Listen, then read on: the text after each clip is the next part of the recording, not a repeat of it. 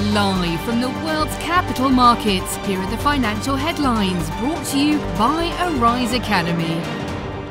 Good morning and welcome to our daily financial outlook. Join us today as we survey the business world for the latest events and updates in the markets. Michael is helping today from our trading room. Germany is making slow progress in enforcing sanctions against Russian oligarchs and institutions.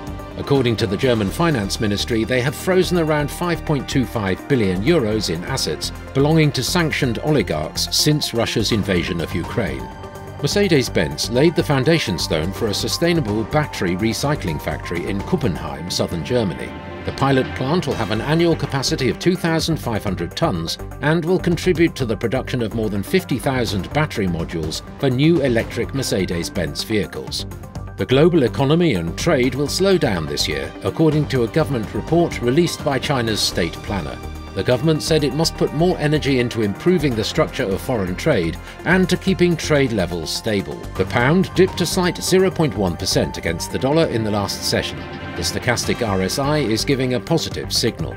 The gold dollar pair skyrocketed 1.1% in the last session. The Williams indicator is giving a positive signal. The euro dollar price remained largely unchanged in the last session. The CCI is giving a positive signal. The dollar yen price remained largely unchanged in the last session. The Williams indicator is giving a negative signal. The US factory orders will be released at 1500 hours GMT the US 3-month bill auction at 1630 GMT, the US 6-month bill auction at 1630 GMT. The Eurozone's retail sales will be released at 1000 hours GMT. Japan's labour cash earnings at 2330 GMT, Japan's JP foreign reserves at 2350 GMT. We hope that you've enjoyed today's market outlook.